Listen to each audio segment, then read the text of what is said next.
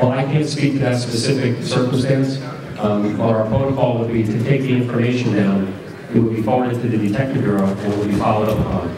I would appreciate if someone takes, uh, you know, at least track of that Absolutely, I appreciate that. Yes, sir.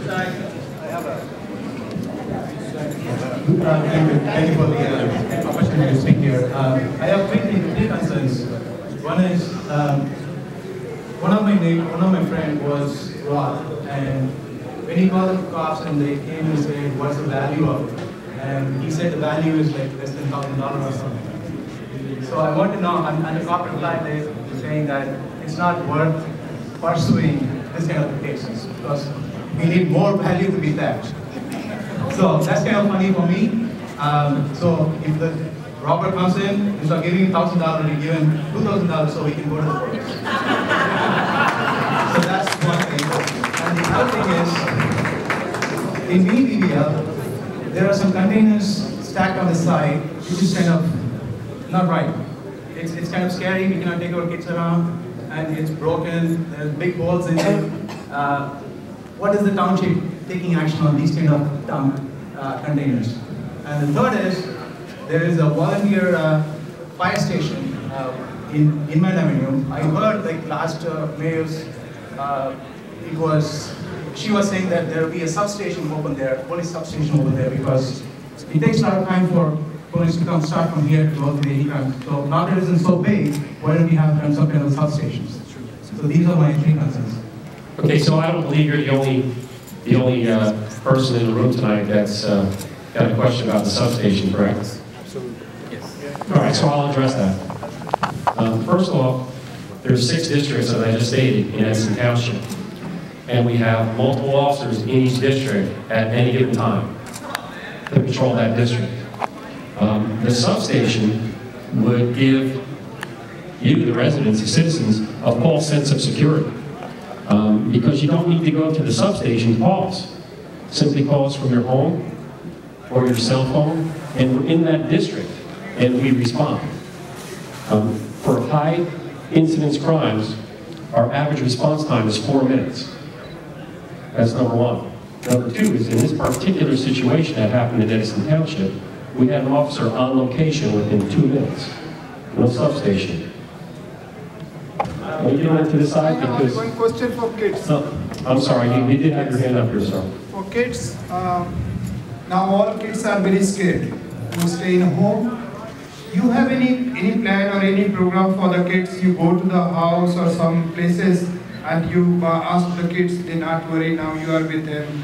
You have any this kind of plan for kids? Like all kids are very scared. They don't want to stay in home alone, even women, they Well, don't want to stay in home. That's a good point, but that's up to the parent to educate the children. So but you should be educating the children and telling them that, that they clearly are very safe. This is one incident that happened in Edison Township recently. But again, it's not specific to Edison Township, it's School, like if you go to the school, some police officer go and they talk to the Indian kids over there, and they, some, like they're happy with, that Well, talk to you. you know, we did have the DARE program, but that was cut out with the last administration. Um, That is a good point. We probably would, with- as long as we have the resources, we'd be looking to institute that once again, and that, that may be very helpful. But that's also something you want to talk to the educators about in the school for the children too. I have a, uh, I have a very quick question. Um, here, so two months back, someone uh, entered to our house, and he um, he went from front to upstairs. And upstairs, uh, I have two daughters, eight and four. They were in the room, and I was doing grass mowing outside. So lesson learned from me was do not keep the door open. But as soon as I entered inside, I saw that person inside the bedroom, and I called 911 right? Till today, no cop showed up. I'm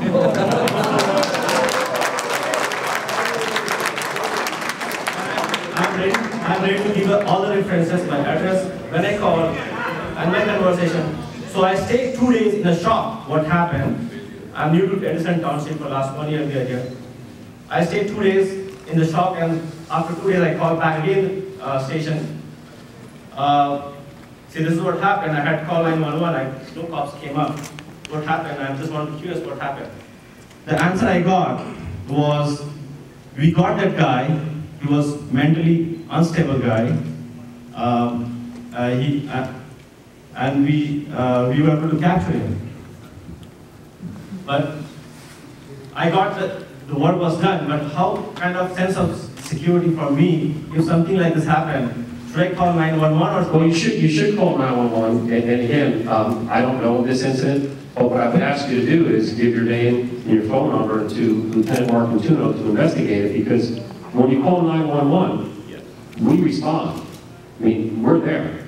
So, even when people call up and say, um, we're really sorry, but my three-year-old dialed 911 by accident, everything's okay, we're still going there. So I would ask that you give him, so we can look into that. I think there may be more to it. I, I don't necessarily believe that that's completely accurate, but I thank you. I, I, I had a long conversation with 911. I was with them. They were, they were with me until that person didn't walk out. After, so the, the 911 was, one was with me in the car with, for at least 15 minutes. And I was talking to the person because I didn't know So you were talking to one of the telecommunicators? to not- whoever, whoever. Dispatch. Yeah. Okay, so again, I'd be more than happy to look into that, and then I'll, I'll contact you myself, but if you would please give the information to Lieutenant Mark Latuno before you leave tonight, I'd appreciate that. Thanks. I second this guy. Actually, I had three months back, uh, somebody walking from my backyard, from the kitchen, from the sliding glass door. I was there in the family room and my son was in the kitchen. Somehow he saw this guy, okay? And immediately we called the cop, all right? It took them 20 minutes to come down over there. And you can check the record also, okay? So the, it looks like that, that it's, maybe you're short of the police officer. And I know mayor says that they're going to give 15 more, you know, cop officers like that. But I think so, the main, our suggestion is that I'm coming from Winding Brook Estate, okay, 9 Bunyan Court, Mahesh Wali. All right, on behalf of Winding Brook, I'm just giving you some suggestion, if you can help us out, okay? That basically, we need a police patrol car. We, we don't want hundred and forty thousand dollars for the police, car, but at least we need somebody who can patrol on a regular one hour or two hour basis, maybe with twenty, thirty, forty dollars an hour. Or we can chip in as a community, okay, for those people during the daytime and everything. I think that is one of the suggestions. The second suggestion is that, you know, we need entry and exit from our, let's say we have a three-way entry, you know. We need to put a camera over there, where we need a PSE&G pole, so they can give us a power, and we can chip in for the camera, so we can see if there is robbery happens, we can roll it back, and see if there is any car or somebody getting or not, so at least for future point of view, you know, we can, we can help it out. And third thing is that we need a speed breaker, so sometimes if the thieves comes, you know, they run fast and maybe, you know, they slow down the things like that. So I think so, the main thing is that we need more police patrol, so at least the people, thieves, they will know, okay, that there is some, uh, you know, uh, things going on from the, from the township or police township like that. So then that is the key thing. We had three years back, you did the same presentation, you know. Most of the people are educated, they know what are the normal things to be taken care of. But I think so, these are Well, the. well, this, this is true, but Yeah. not, this is true, but we just had an incident the other day in fact, where we had a couple of car burglaries and, and, uh, you know, the victim said, "No, I didn't lock my car, so it's just a reminder. I think it's important, I it's agree. smart, it's The main, sense, but it's the main thing is the response time, and how can you respond it when you don't have many police car? Good point. Police patrol. car. Good point, but like I So that's what our suggestion is there, uh, and, and I know there are many other, that as somebody says about technological way, so that's one of the things also we discussed, that if we have a camera, and that has been centralized control, okay, then if somebody robbery happens, we said, okay, we'll use the panic pattern, the next door neighbor will know, that's how we have Right. educated within our community. Uh, But if you have that centralized monitoring things, whether it is within the community or at a police station, okay? So then we can immediately trigger that thing and you can take the action. Point- So I point think very so, well- what I'm point trying to very say, well that taken. we need your help, you, you we are have one. ready to chip in some money, whatever we can afford it. But at least, you know, you should look into But those. There's, there's many other people here that would like to speak too, sir, but just to address you briefly, uh, it's very important, cameras are very important. If you've got if you've got your own camera system, they have been able to aid us in capturing perpetrators in the past, and that's important. Um, But centrally locating cameras, again, it's a budgeting issue, It costs a lot of money to do that. This is something we're moving forward to in the future, but again, it costs a lot of money. I think the main thing right now is, uh, again, I thank the mayor and the council because um, several years ago, we had 215 officers. Okay? Uh, we- are diminished somewhat, and we certainly need new officers to be hired, we're in the process of doing it right now. So more officers out there patrolling your district is the answer right now. Um, As far as the response time goes, I just gave you a a hard statistic, which is for a major crime, within four minutes we're there. However, um, some of the jobs are prioritized, so if it's not a high priority job, then of course it's going to take a little bit longer to get there. Okay? How But- do you know it's Sir, with all due respect, there's a lot of people here tonight that like it, but I I appreciate So it, thank you very How do you know much. it's a major crime?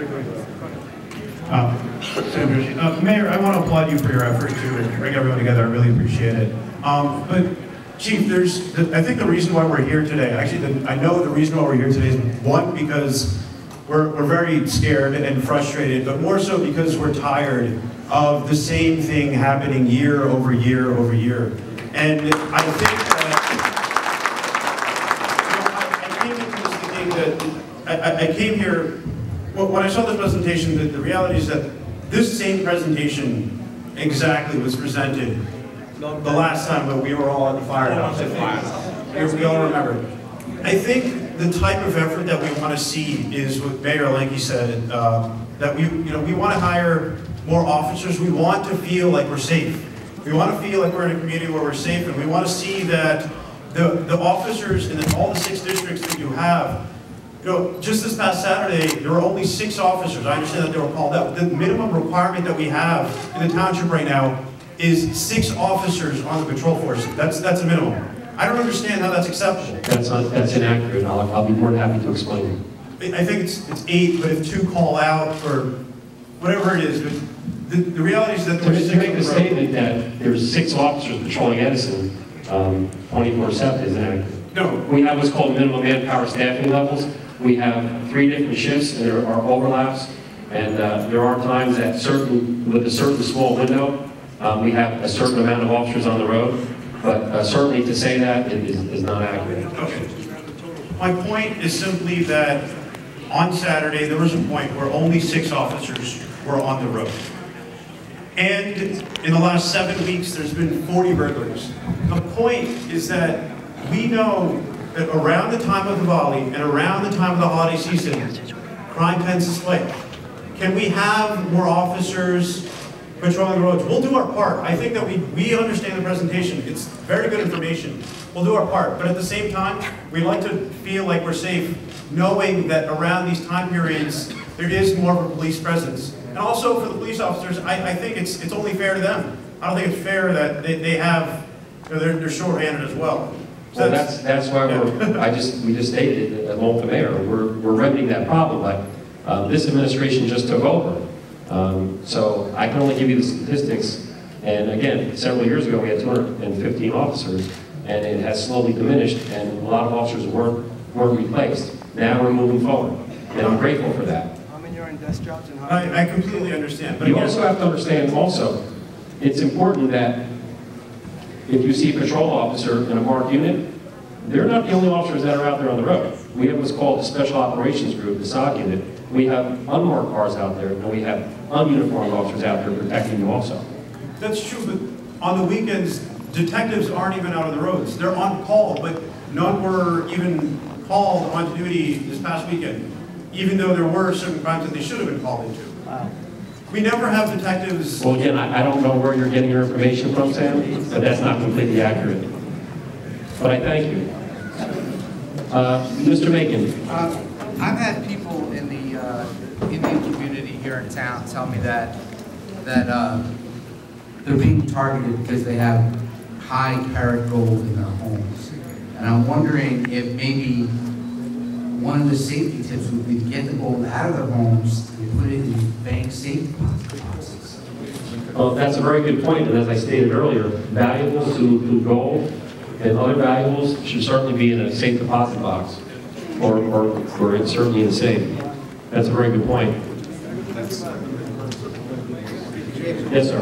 Actually, even if we put it in the safe deposit box, I suppose the community members would agree that uh, our females, uh, two, three days before the Diwali, they go to the safe deposit box and they bring it because they want to wear it on those particular days. So I don't think so. The point of, uh, I mean, that safe deposit box does solve the problem. Well, un- unfortunately, what Mr. Macon said is true. Um, If there is a practice that people are used to doing over and over, and other people discover that, and want to take advantage of you, then again, that's an opportunity. So we have to be smart. Yeah, also I have a suggestion regarding the future years. And, Sure. uh, I- I'm actually uh, noticing the profile of the people here. Uh, There's only one kid out here. Um, Actually, it would be great if the kids and the children actually come to know that what we are really thinking about and what measures we are taking. So uh, uh, the point is that uh, uh, most of the community members, they go to the temples on these days. So maybe the contact point of doing these kind of really making the people feel in the community that the police and everybody, you know, are really thinking about it. So I don't know. Well, that's a great point. Again, we'd be more than happy to come out to you. But again, if you could leave your name on the sign-up sheet, um, we can, we- I would forward that to Sergeant Dudash, and we'd be more than happy to come out to you and be able to do that. Um, Mr. Katari had his hand up over here for a while.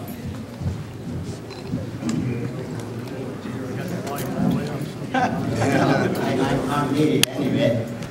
First, I want to thank uh, Mayor and Council and uh, Police Chief for uh, least calling a this meeting, even though it's not enough time. But the number of people is telling you how they feel. Yeah.